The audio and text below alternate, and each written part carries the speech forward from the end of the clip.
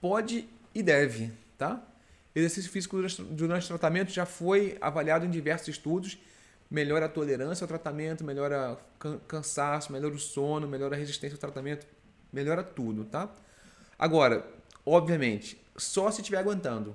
Tá? Tem vezes que fala assim, pô, tô cansado, fiz químio ontem, anteontem, hoje eu não tô afim.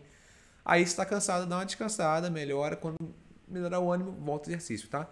Não, exercício físico ali é para melhorar, durante o tratamento, é para melhorar a tolerância ao tratamento e para não perder o ritmo, tá?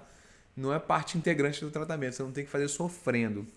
Mas quem conseguir manter é altamente recomendável, tá? Durante o tratamento. Mesmo com ah, químio, hormônio, o que quer que seja, mantenha a atividade física. Porque a gente sabe que melhora todas essas coisas de qualidade de vida e resistência aos efeitos colaterais do tratamento, tá? Então pode sem problema nenhum, manda bala.